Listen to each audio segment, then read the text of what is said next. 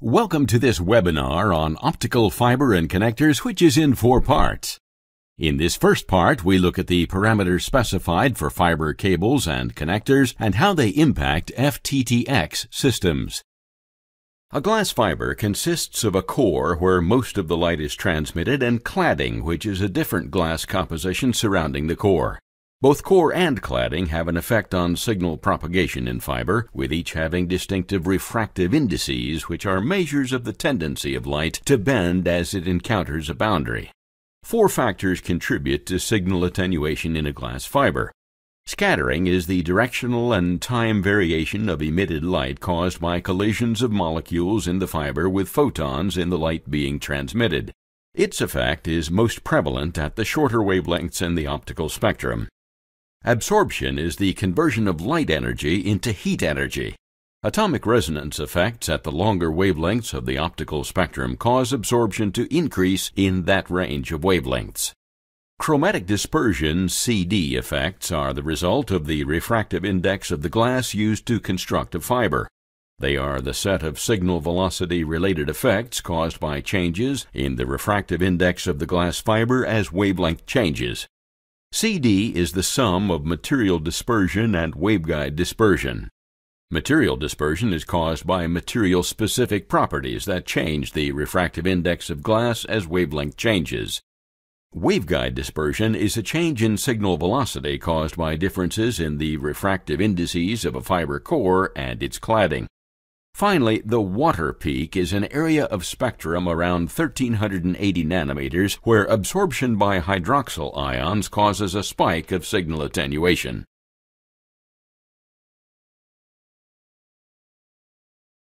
Standard fiber has zero chromatic dispersion near 1310 nanometers because waveguide and material dispersion cancel out at that wavelength. This same effect can be shifted to 1550 nanometers by changes in fiber doping and or cladding. The combination of low scattering and absorption plus zero chromatic dispersion yields two wavelength windows where conditions for transmission are very favorable. There are three basic wavelengths used for optical communications over glass fiber, with 850 nanometers being the first window of transmission, and 1310 and 1550 being the second and third, respectively. Over time, improvements in fiber optic manufacture have removed the water peak from the spectrum, resulting in a continuum of frequencies that can be used for fiber optic transmission. This continuum is subdivided into bands as shown on the chart. The C-band is of particular interest in that it is an area of spectrum where erbium-doped fiber amplifiers are implemented. This technology allows direct amplification of light without an intermediate conversion to electrical energy.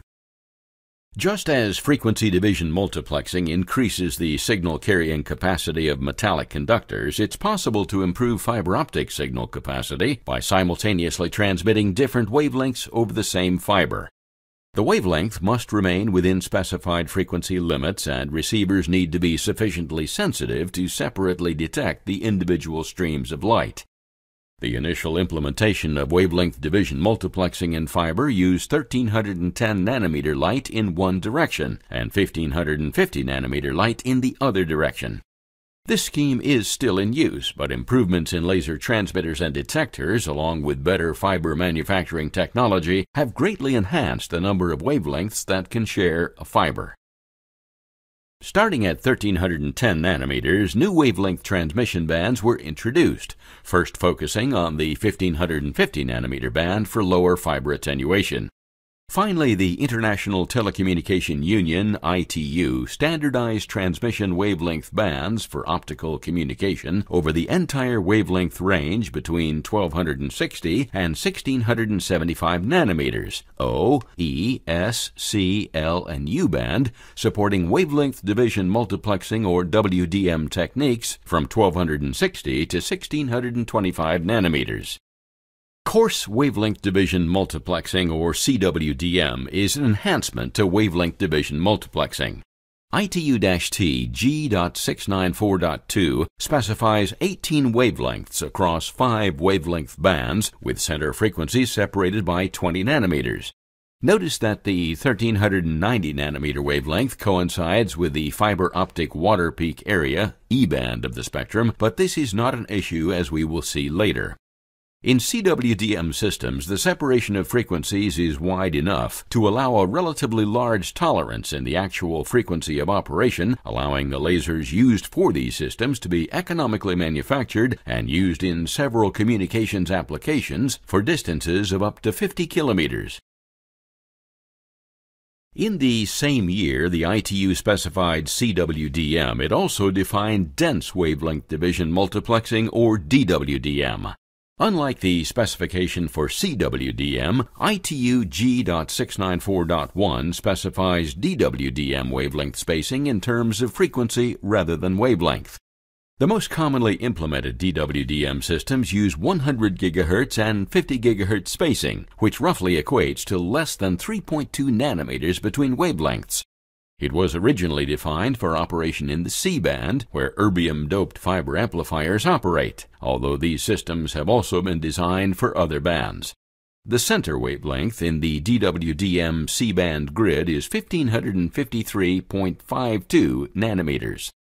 Due to the extremely narrow spacing between wavelengths, lasers used in DWDM systems must be tightly controlled, and this adds substantially to their cost. The advantage of single mode fiber is its higher performance with respect to bandwidth and attenuation.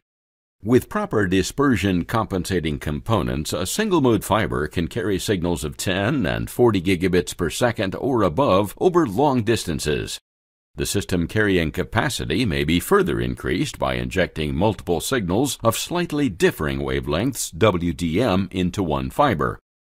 The small core size, which typically ranges from a core of 8 to 12 microns with a 125 micron cladding, generally requires more expensive light sources and alignment systems to achieve efficient coupling. In addition, splicing and connectorization are also somewhat complicated, but nonetheless, for high performance systems or for systems that are more than a few kilometers in length, single mode fiber remains the best solution. The peak identified in the graph indicates that at the wavelength of 1383 nanometers, the presence of hydrogen and hydroxide ions in the fiber optic cable material causes an increase in attenuation. These ions result from the presence of water that enters the cable material through either a chemical reaction in the manufacturing process or as humidity in the environment.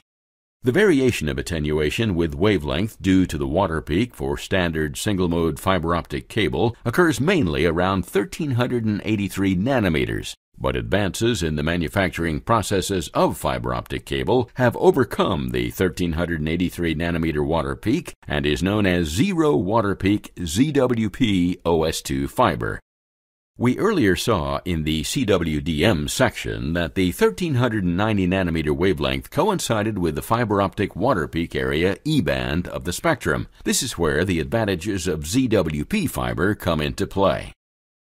The optical fiber network infrastructures installed today will typically see four generations of transmission systems over the network's expected lifetime. As recent history has shown, the amount of data traffic these networks will carry will increase dramatically and continuously.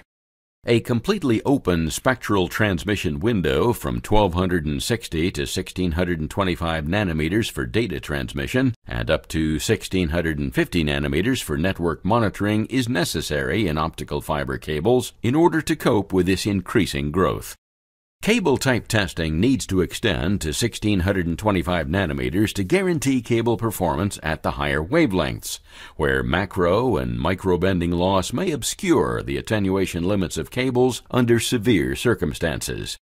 The latest bend improved fibers G.657 support this optimization, particularly for demanding cable designs. In principle, optical fibers offer a tremendous amount of potential transmission bandwidth or capacity, currently used for a wide range of applications, such as long distance data transmission, for example, internet traffic, fiber to the home, and cable television. Maximizing transmission capacity requires optimized fiber designs and communication techniques, which have been developed over the last decades in multiple steps, beginning with increased bit rates in telecommunications applications. Let's take a closer look at optical fiber's main parameters and characteristics. Light transmission in optical fiber uses three basic elements a transmitter, a receiver, and a transmission medium that passes the signal from one to the other. The use of optical fiber introduces attenuation and dispersion into the system. Attenuation tends to increase the power requirements of the transmitter in order to meet the power requirements of the receiver. Dispersion, on the other hand, limits the bandwidth of the data that can be transmitted over the fiber. As the light traverses the fiber, it decreases in power level. The decrease in power level is expressed in decibels, dB, or as a rate of loss per unit of distance, decibels per kilometer. That completes part one. Please continue on to part two. Thank you.